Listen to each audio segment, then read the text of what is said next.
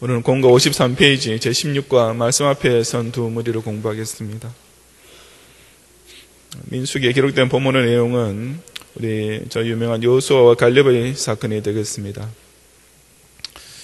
어, 서론에 나와 있는 대로 오늘 공과의 주제는 어, 말씀을 쫓아 행하는 데에 사명 수행 성공의 비결이 있습니다.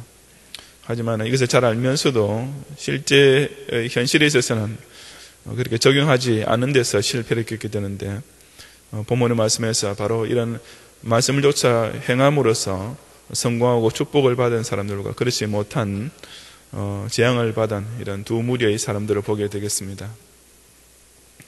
첫째로 하나님 말씀을 통해서 믿음으로 현실을 보는 사람들이 있다고 했습니다. 가난 이스라엘 백성들이 애굽을 떠나서 가난 입구에 도착했을 때 어, 모세는 하나님께서 말씀하신 대로 너희가 올라가서 가나안 땅을 얻으라 하고 이렇게 지시를 내렸습니다. 하지만 백성들은 먼저 정탐을 하자고 요구를 했습니다. 어, 바로 여기서부터 이미 그런 어, 불신앙이 말씀에 대한 불신앙이 나타나는 것을 볼 수가 있습니다.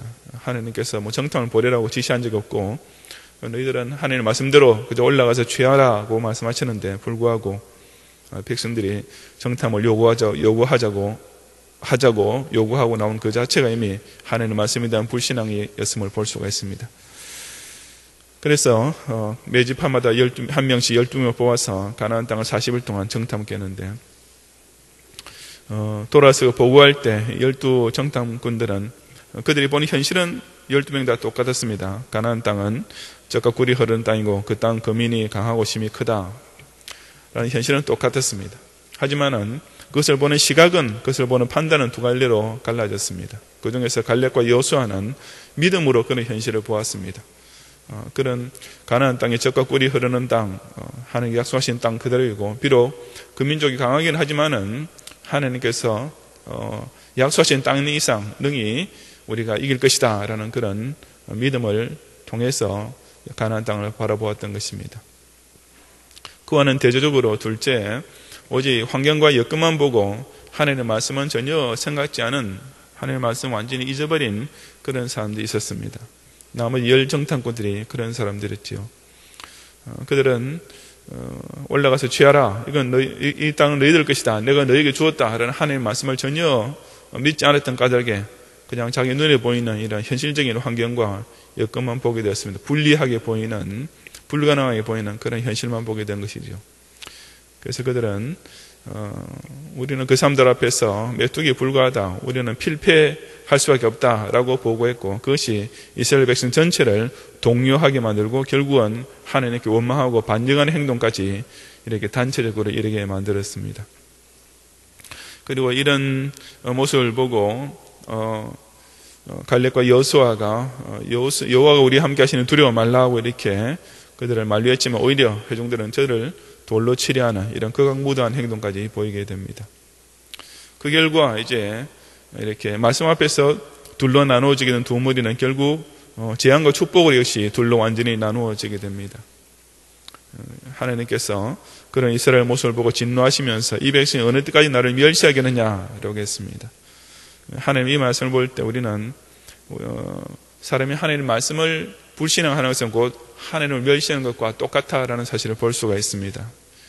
이스라엘 백성과 열정 탐꾼들이 하나님의 말씀을 믿지 않았던 것, 그 땅을 어, 자기네들 줄 것이라 하신 그 말씀을 믿지 않았던 것은 곧 하나님을 멸시하는 행동과 똑같은 것임을 여기서 하나님께서 보여주고 계시는 것입니다.